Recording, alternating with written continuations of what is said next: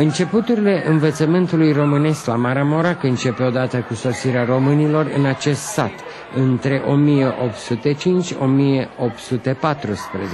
când se învață prin case particulare scrisul și socoată. Prin 1820 începe învățământul în limba sârbă, limba germană și română, iar prin anii 1940 există doar clase în sârbă și română datorită împrejurărilor istorice.